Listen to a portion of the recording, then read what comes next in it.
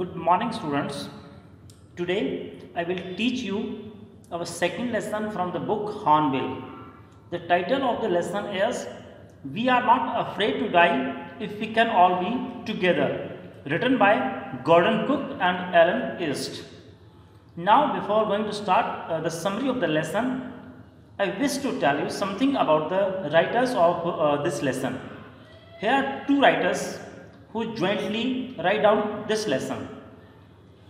Gordon Cook was born in 1978 in Toronto, Canada, and Alan East in 1923 in Hampshire. Although we are not sure about the birth year of the second writer Alan East, but according to book, this is the date.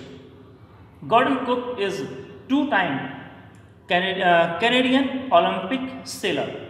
He is a graduate of the engineering. They both jointly write down the voyage story of a young businessman who completed the voyage sea journey bravely with the help of his family members and two crewmen. Now, the detailed summary of the lesson.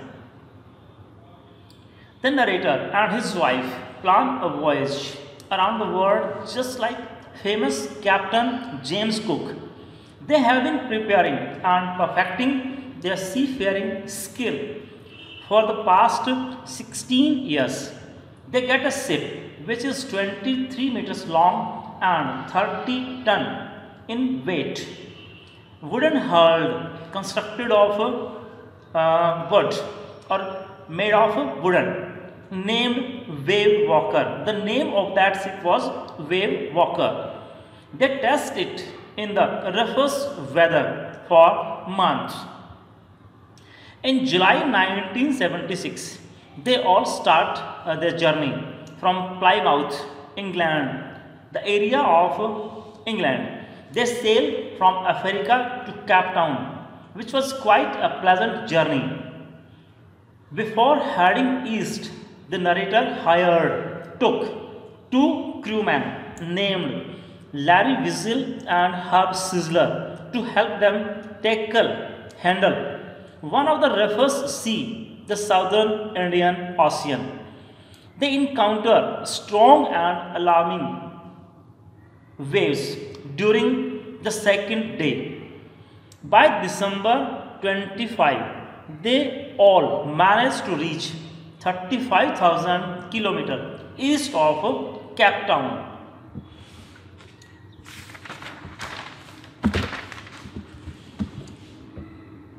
The family somehow manages to surpass the bad weather and celebrates Christmas together. The weather changes for the worse and on January 2, the big waves hit them. They try to slow the ship down by dropping strong jib and hit a heavy mooring rock in a loop across a stern. But it doesn't help much. They carry their life raft drill, attach lifelines, don life jackets and oil skins. In the next page, you will see I have given all the synonyms of these different words so that you can learn the uh, lesson or the summary of the lesson easily. Later in the evening, a vertical and huge wave strikes the ship and the narrator is thrown off from the ship. He accepts his approaching death and starts losing consciousness. When the ship is about to turn it to right back, sorry, when the ship is about to overturn, a huge wave hit again and turns it to right back. He suffers injuries in ribs and mouth. He grabs the guard rail and sails into the ship's main boom. He instructs his wife Mary to guard the wheel as he realizes that the ship has water in the lower parts. His crewman starts pumping out the water. The narrator goes to his children's cabin and checks on them. His daughter, Sue, informs him about a bump on her head, which he ignores because his major concern is to save the ship. The narrator does waterproofing on the gaping holes. This makes water uh, to deviate on the right side. The hand pumps gets blocked due to debris, garbage and electric pump gets short circuited. However,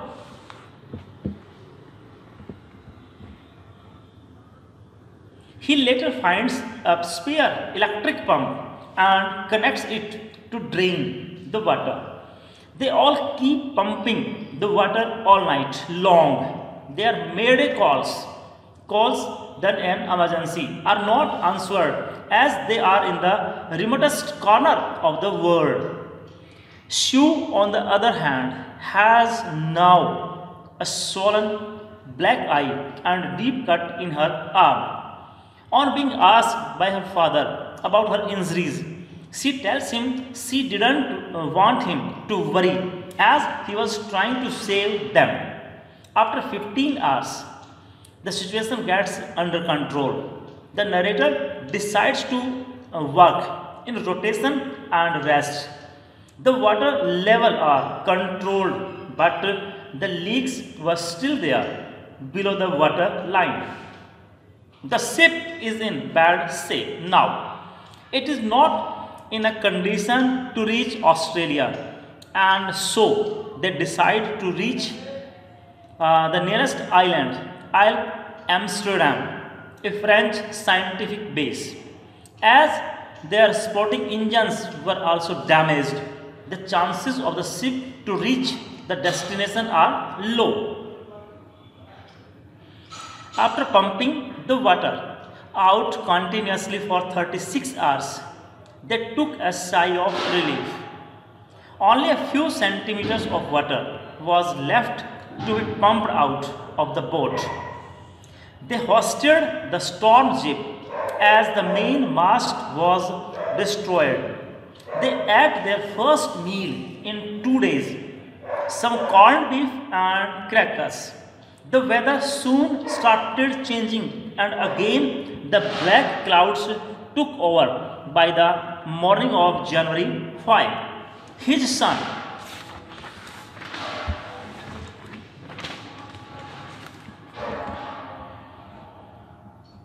Jonathan, told him that he didn't fear death as long as they were all together. This filled him with determination to fight the sea the struggle continued and the narrator tried his best to protect the weakened starboard side. The same evening, the narrator and his wife sat together holding hands, thinking that their end was near. His children continuously spotted him, which gave him moral support to keep going. The Wave Walker sailed through the storm and made it. The narrator then calculated their exact position by working on the wind speed. While he was in tension, Sue gave him a card that she had made expressing her love and gratitude towards the family. He instructed Larry to steer the course to 185 degrees. He said that if they were lucky, they could have uh, sorry they could hope to find an island by 5 pm. He dozed off and suddenly got up around 6 pm. He believed that they didn't make it and was disappointed. His son came and informed him about how they reached the Isle Amsterdam island and he called him best daddy and best captain. They reached the island with little struggle and the with the help of inhabitants.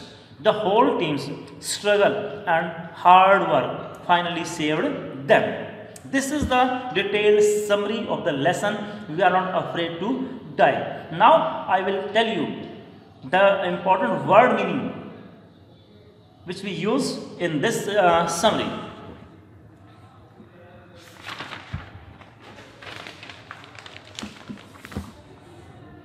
Here are a few words. The word first cheerful, happy. Coast, seashore, sailor, mariner, voyage, excursion, voyagers, commuter, atrocious, horrified, dignatic, enormous, sail, boat, storm ship, require, knots to control, furry, anger, morning rock, uh, sorry, mooring rock, pastern,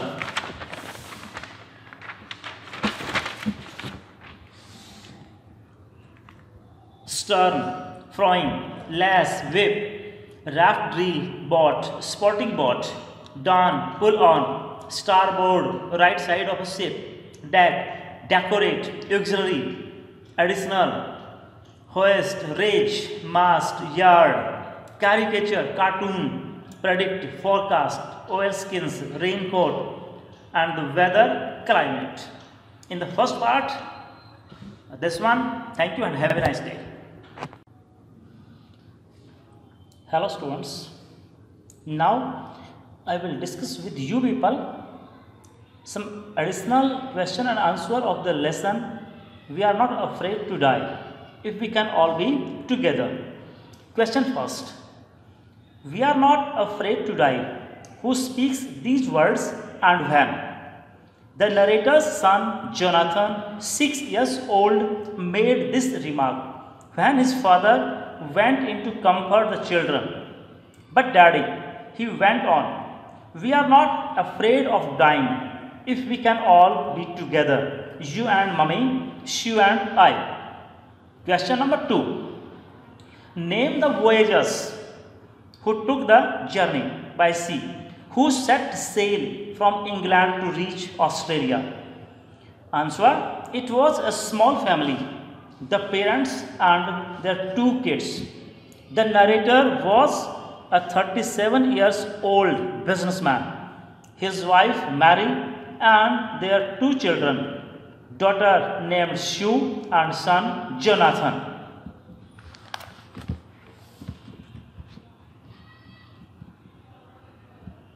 What preparations did the narrator make for the long journey? the narrator wanted to fulfill his dream of sailing around the world like Captain James Cook. He worked on the project for 16 years and spent all his leisure time in mastering the art of navigation.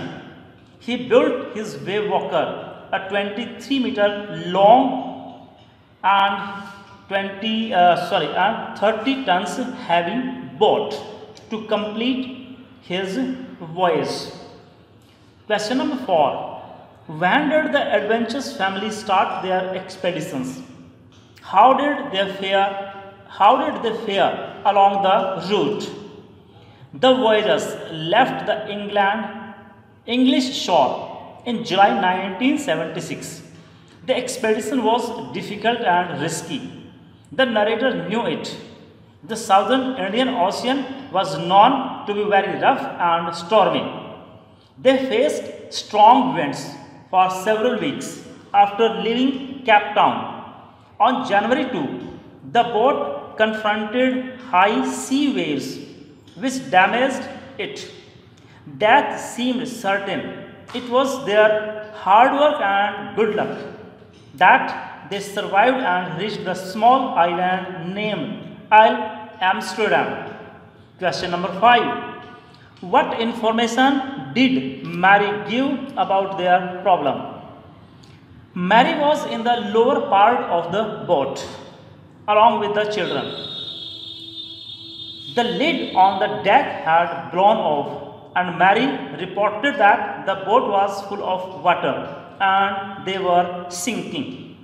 These are the some uh, these are some questions with their answer. Now, some questions for your practice at home. I hope definitely uh, this question will help you to learn the lesson comfortably. Question first. How does the author describe wave walker? Question number two. What injuries did the narrator and his daughter suffer when the sea waves tossed them about? Tossed, T-O-S-S-E-D. Question number 3. What did the narrator do to repair the damage to the deck. Question number 4. How did Sue make her father laugh when the situation was almost hopeless? And the question number 5 is What good uh, news did John and Sue give to their father at 6 pm on January 6? This is the lesson number 2 from our first book Hornbill. Although this is a lengthy lesson, but I hope if you will go through the detailed summary and question answer of this lesson which I give you, definitely that will be helpful for you to learn the lesson. Thank you and have a nice day.